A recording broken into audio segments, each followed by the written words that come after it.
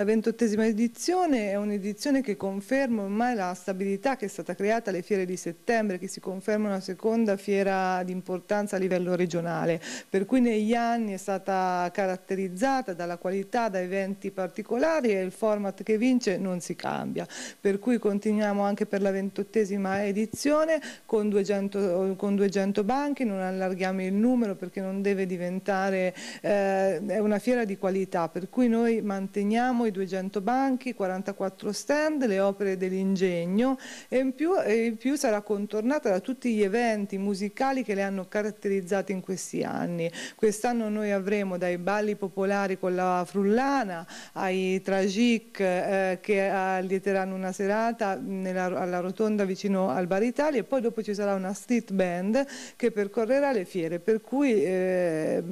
ce n'è un po' eh, per tutti. Ci sarà ovviamente il solito allestimento floreale che non è soltanto quello ma è veramente un'esposizione di piante ornamentali all'ingresso uh, all delle fiere per cui daremo via al settembre umbertidese con le tradizionali fiere di settembre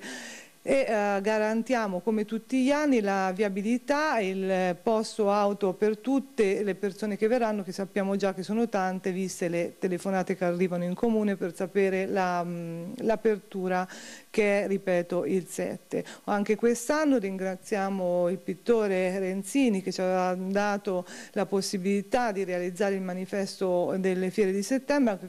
anche quest'anno con una delle sue opere. Questo manifesto poi va in giro un po' per tutto il mondo perché anche gli umbertidesi all'estero aspettano proprio l'inizio delle fiere di settembre per richiedere il manifesto che poi uh, verrà loro inviato. Per cui aspettiamo tutti venerdì per iniziare le festività settembrine di Umbertide.